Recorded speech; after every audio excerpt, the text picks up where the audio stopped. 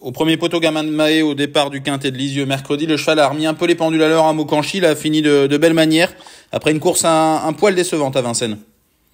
Oui, voilà, Vincennes, on restait un petit peu sur notre fin. Le chrono, euh, le chrono était bon et puis, euh, et puis il n'avait peut-être pas eu le parcours les plus favorables, malgré qu'il ait eu pas une mauvaise course, mais euh, fallait un, un, l'économie. Euh, après, il a bien couru à, à Mokanchi, il était dans les derniers, il a fait une belle ligne droite. Voilà, c'est une belle course pour lui, il est bien engagé en tête.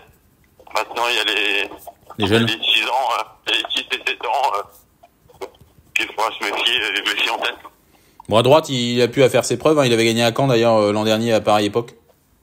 Oui, voilà, il va à gauche, il va à droite là-dessus, il n'y a pas de, il y a pas de souci de, de, de, de corde. Voilà, après, il faut, le, faut la bonne course. Vous laissez votre place? Vous laissez votre place cette fois-ci? Oui, bah, euh, la dernière fois, c'était surtout pour voir un petit peu où était le cheval dans, dans sa condition. Là, et Johan va, va très bien s'en sortir. Il a sa place dans les 5 logiquement?